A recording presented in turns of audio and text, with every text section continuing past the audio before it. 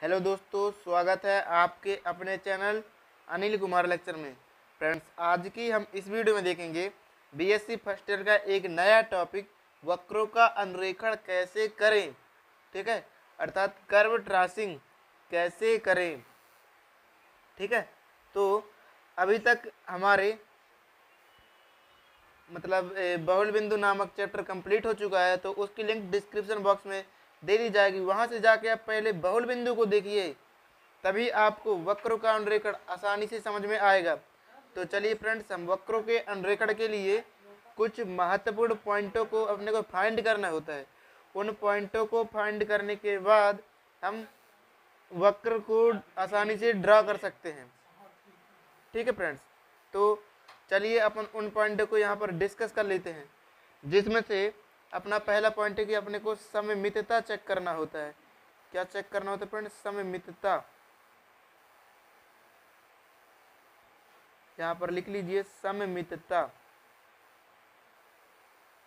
अपने को सबसे पहले सममितता चेक करना होता है। अब सममितता के अंदर क्या क्या आता है?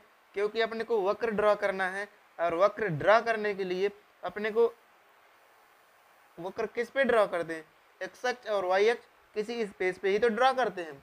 मतलब चाहे वाई अक्ष पे करें या एक्स अक्ष पे करें यहीं पर अपन करते हैं। तो अपन देखेंगे कि जो ए, अपना वक्र दिया गया है वह एक्स अक्ष में सम्मित है या कि वाई अक्ष में सम्मित है या कि दोनों अक्षों में सम्मित है या कि विपरीत अक्षों में सम्मित है या कि किसी रेखा में सम्मित है ये चीज़ अपने को देखना है। ठीक है? तो सबसे पहले अपन देखते हैं कि एक्स अक्ष में सम्मितता कैसे चेक करें। ठीक है? एक्स अक्ष में सममितता कैसे चेक करें? सबसे पहले हम इसे क्या करते हैं? चलिए ठीक है, रहने देते हैं। एक्स अक्ष में सममितता ज्ञात करने के लिए आप वाई की जगह माइनस वाई रख दें। वाई की जगह वाई की जगह माइनस वाई रख दें। तो वक्र में कोई परिवर्तन नहीं होना चाहिए। तब अपन कहेंगे कि जो वक्र है, वह एक्स अक्ष में सम्मित है। ठीक है? और यदि वाई अक्ष में सम्मित देखें तो यदि वाई अक्ष में देखेंगे तो X equal to minus X रखेंगे तो वक्र में कोई परिवर्तन नहीं होगा। तब अपन कहेंगे कि जो अपना वक्र है वाई अक्ष में सम्मित है, ठीक है? इसी प्रकार एक्स और वाई दोनों अक्ष में सम्मित ज्ञात करने के लिए बारी बारी से क्या करेंगे? एक्स की जगह माइनस एक्स तथा y की जगह माइनस वाई रखने पर वक्र में कोई परिवर्तन नहीं होगा। तब अपन कहेंगे कि जो वक्र है, x अक्ष और y अक्ष दोनों में सम्मित है। ठीक है? इसी प्रकार यदि विपरीत चतुर्थांशों में देखें, हो सकता है कि विपरीत चतुर्थांश में हो। ठीक है? तो विपरीत चतुर्थांश में देखने के लिए क्या करेंगे?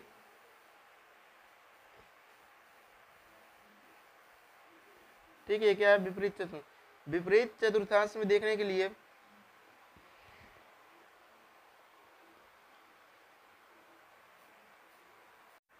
विपरीत चतुर्थांश में भी चेक करने के लिए अपन x की जगह माइनस एक्स वाई की जगह माइनस वाई और इन्हें रखने पर वक्र पे यदि कोई परिवर्तन नहीं हो तो तब अपन कहेंगे कि जो वक्र है वह विपरीत चतुर्थांशों में सम्मित है, ठीक है? तो ये इसी के जैसा ही चेक करेंगे। ठीक है अब देख लीजिए कहीं y इक्वल टू एक्स रेखा पर तो सम्मित नहीं है, ठीक है?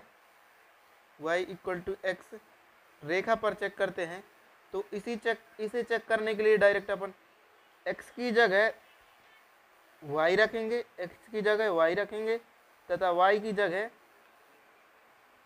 y की जगह x रखेंगे तो जो वक्र होगा उसमें यदि कोई परिवर्तन नहीं होता, तब अपन कहेंगे कि जो वक्र है, जो अपना वक्र है, वह y इक्वल टू एक्स पर सममित है, ठीक है? इतनी बातें फाइंड कर लेने के बाद इनमें से किसी एक अक्ष में ही सम्मित होगा, ठीक है? ये जो पॉइंट दिए गए हैं, यहाँ पर दीजिए ठीक है चाहे ए पर हो जाए चाहे बी पर, या चाहे सी पॉइंट पर, या डी या ई इनमें से किसी एक पर होगा ही होगा। यदि इन पर पता कर लेते हैं तो सेकंड अपने को मूल बिंदु पर पता करना होता है, ठीक है? देखिएगा, अभी हम बताएँगे पूरी बात है आपको। तो दूसरा नंबर क्या आता है? मूल बिंदु क्या आता है फ्रेंड्स? मूल बिंदु मूल बिंदु की प्रकृति मूल बिंदु की प्रकृति चेक करेंगे, ठीक है? जैसा कि अभी हमने पिछली वीडियो में सीख चुका है तो मूल बिंदु की प्रकृति देखेंगे। तो मूल बिंदु की प्रकृति देखने के लिए सबसे पहले आप वक्र पर देखेंगे कि वक्र पर कहीं अचर पद तो नहीं है। यदि वक्र पर अचर पद होगा तो वहाँ पर मूल बिंदु नहीं होगा, ठीक है? यदि वक्र के समीकरण में कोई भी अचर पद नहीं होता, तब अपन कहेंगे कि वह मूल बिंदु पे नोड कस्प या वियुक्त है, ठीक है? तो अचर पद नहीं होना चाहिए, ठीक है? अचर पद उपस्थित नहीं होना चाहिए। यदि नहीं है उपस्थित, तब अपन चेक करेंगे कि नोड है, मूल बिंदु पर यह कस्प है या फिर वियुक्त है, ठीक है?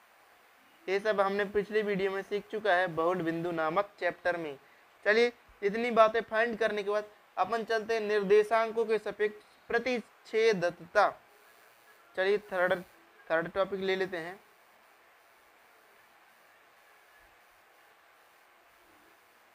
निर्देशांकों के सापेक्ष निर्देशांकों के सापेक्ष प्रतिच्छेदता। ठीक है अभी हम बताएँगे इनको क्यों देख रहे हैं? क्योंकि वक्रों के अन्वेषण में इन्हीं पॉइंट को देखना पड़ता है। ठीक है तो इसमें अपने को चेक करना होता है फ्रेंड्स इसमें ए नंबर चेक करना होता है। एक्स अक्ष के सफ़ेद समित एक्स अक्ष के सापेक्ष देखना होता है, प्रतिच्छेदकता। एक्स अक्ष के सापेक्ष देखना है तो वाई इक्वल टू ज़ीरो इसी प्रकार यदि वाई अक्ष के सापेक्ष प्रतिच्छेदकता देखे वाई अक्ष के सापेक्ष तो ये होगा एक्स इक्वल टू ज़ीरो रखने पर, ठीक है? इसके बाद अपन नेक्स्ट पॉइंट देखेंगे अंत स्पर्शी। अनंत स्पर्शी। क्या ज्ञात करेंगे फ्रेंड्स अनंत स्पर्शी। अनंत स्पर्शी की वीडियो हमने बना बना चुकी है तो उसकी लिंक हम आई बटन में दे देंगे। तो आई बटन से आप चेक कर सकते हैं कि अनंत स्पर्शी कैसे ज्ञात करते हैं। यदि देखिए एक्स एक्स के सापेक्ष अनंत स्पर्शी ज्ञात करना है। एक्स एक्स के सापेक्ष अनंत स्पर्शी ज्ञात करना है तो एक्स के उच्चतम घात के गुणांक को एक्स के उच्चतम घात के गुणांक को शून्य के इक्वल रखना है। यदि वाई अक्ष के सापेक्ष अंत स्पर्श निकाले तो वाई अक्ष के सापेक्ष वाई अक्ष के उच्चतम घात को शून्य के इक्वल रखना है। ठीक है फ्रेंड्स देखिए, आपको समझ में नहीं आया होगा तो हम एक, यहाँ पर एग्ज़ाम्पल भी लेके दिखा देते हैं, ठीक है?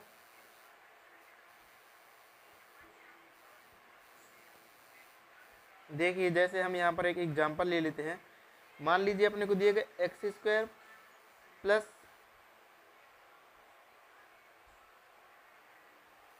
y square equal to two A तो यहाँ से अपने को अनंत स्पर्श ज्ञात करना है तो क्या बोल एक्स के उच्चतम घात के गुणांक को शून्य के इक्वल रखने पर। मान लीजिए यहाँ पर गुणांक दिए गए थ्री वाई ठीक है? तो इसमें एक्स के उच्चतम घात क्या है? एक्स स्क्वायर तो इसका गुणांक क्या है? थ्री वाई तो three y equal to zero रखेंगे।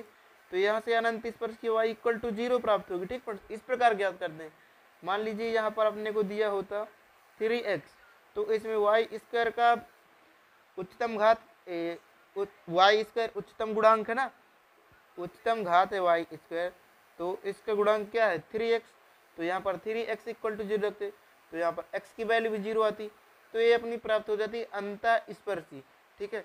तो इस प्रकार से यदि कोई वक्र दिया जाए तो अनंत स्पर्शी इस प्रकार से आप ज्ञात करेंगे। ठीक है फ्रेंड्स? इसके बाद अपन बिंदु ज्ञात कर लेंगे। ठीक है कि वक्र आखिर कहाँ से, कहाँ तक प्रसारित है, ठीक है फ्रेंड्स? तो देखिए तो देखिए फ्रेंड्स, उसके बाद अपन ज्ञात करते विशिष्ट बिंदु। जो विशिष्ट बिंदु है, वह माइनस इन्फिनेटिव से प्लस इन्फिनेटिव तक आप ले सकते हैं यहाँ से, ठीक है? चाहे आप अपने एक्स की वैल्यू अपने मन से मानना है, उस वक्र में रखना है तो अपने को माइनस इन्फिनेटिव से प्लस इन्फिनेटिव तक मान सकते हैं, ठीक है? कोई वैल्यू मान सकते हैं। तो जो वाई की वैल्यू आनी चाहिए वह वास्तविक आनी चाहिए। क्या आनी चाहिए फ्रेंड्स वास्तविक आनी चाहिए। वाई की जो वैल्यू है, वास्तविक आनी चाहिए। ठीक है? और यदि वास्तविक आती है, तभी उसमें विशिष्ट बिंदु, तभी वक्र वहाँ से वहाँ तक ड्रॉ होगा अन्यथा वक्र ड्रॉ ही नहीं होगा।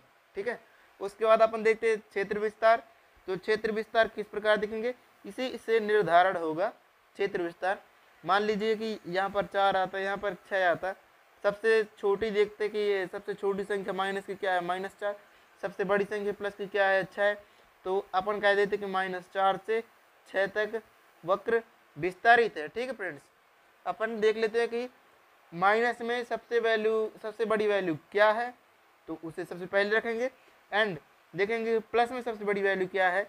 उसे रखेंगे और अपन देखेंगे कि जितना आ रहा है, उतने पर ही क्षेत्र विस्तारित है। एंड सातवें नंबर पर देखेंगे, नति परिवर्तन बिंदु। नति परिवर्तन बिंदु। ठीक है फ्रेंड तो नति परिवर्तन की बिंदु भी हमारी प्लेलिस्ट में मिल जाएगी। अवतलता, उत्तलता एवं नति परिवर्तन नामक प्लेलिस्ट पर नति परिवर्तन की एक सेपरेट वीडियो बनी हुई है तो वहाँ से जाके आप चेक कर सकते हैं। ठीक फ्रेंड्स? तो यदि आप इतनी चीज़ें फाइंड कर लेते हैं किसी भी वक्र में तो आप आसानी से किसी भी वक्र का आप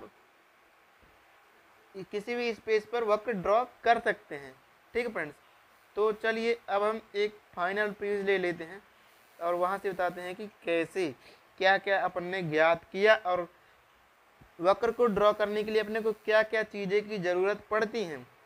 ठीक है फ्रेंड्स तो ध्यान दीजिएगा। मान लीजिए अपने को एक्स एक्स दिया जाए और वाई एक्स दिया जाए। ध्यान से देखिएगा, यहाँ पर पूरी बेसिक इंपॉर्टेंट बातें हो जाएँगी। तो फटाफट से लाइक सब्सक्राइब ठोक दीजिए महाकाल के आशीर्वाद से। तो चलिए फ्रेंड्स देखते हैं। यहाँ पर अपनी पूरी बेसिक बातें कंप्लीट हो जाएँगी। तो देखिए फ्रेंड्स तो अपने को सबसे पहले चेक करना होता है कि जो वक्र दिया गया है, इस अक्ष में सम्मित है मतलब एक्स अक्ष में सम्मित है या वाई अक्ष में सम्मित है। ठीक है? सबसे पहले अपने को यही चेक करना होता है कि एक्स अक्ष में सम्मित है या वाई अक्ष में सम्मित है। यदि इतना चीज़ अपने को पता चल जाता है तो यदि एक्स अक्ष में भी सम्मित नहीं है वाई अक्ष में भी सम्मित नहीं है तो उसके बाद अपन चेक करेंगे कि कहीं दोनों अक्ष में तो सम्मित नहीं है एक्स अक्ष में या वाई अक्ष में दोनों में तो सम्मित नहीं है तो उसे चेक करेंगे। ठीक है फ्रेंड्स सबसे पहले अपन क्या चेक करेंगे? एक्स अक्ष पे तो नहीं है, फिर उसके बाद सेकंड नंबर में चेक करेंगे कि वाई अक्ष में तो नहीं है, फिर थर्ड नंबर में चेक करेंगे कि कहीं दोनों अक्ष में तो नहीं है। अगर वो भी नहीं मिलते तो। और यदि दोनों अक्ष में भी सम्मित नहीं मिलता तो अपन देखेंगे तो विपरीत चतुर्थांशों में तो सम्मित नहीं है। यदि वहाँ पर भी नहीं होता तो हम देखेंगे कि कहीं रेखा y इक्वल टू एक्स पर तो सम्मित नहीं है। ठीक है? तो जब इतनी बातें पता चल जाए इनमें से किसी न किसी पर सम्मित होगा ही वक्र। ठीक है? तो अब अपने को सम्मित पता चल जाता है किसमें सम्मित है। यदि अपने को पता चलता है कि एक्स अक्ष में सम्मित तो वक्र ऐसे ड्रॉ होगा, ठीक है? यदि पता चलता है वाई अक्ष में सम्मित तो वक्र वाई अक्ष में होगा, लगभग लगभग, ठीक है? और दोनों अक्ष में होता है तो वक्र इस प्रकार से होगा, ठीक है फ्रेंड्स और यदि विपरीत चतुर्थांश में होते तो इस प्रकार से होगा। और यदि रेखा y इक्वल टू एक्स में होता है तो रेखा y equal to x draw करनी पड़ेगी और फिर इस पर होगा, ठीक है फ्रेंड तो आपको समझ में आ गया। अब उसके बाद देखते हैं, उसके बाद अपने को क्या चीज़ की ज़रूरत पड़ती है, ये चीज़ें अपने को पता करना पड़ा है। तो अपन सम्मितता चेक कर लिए, ठीक है?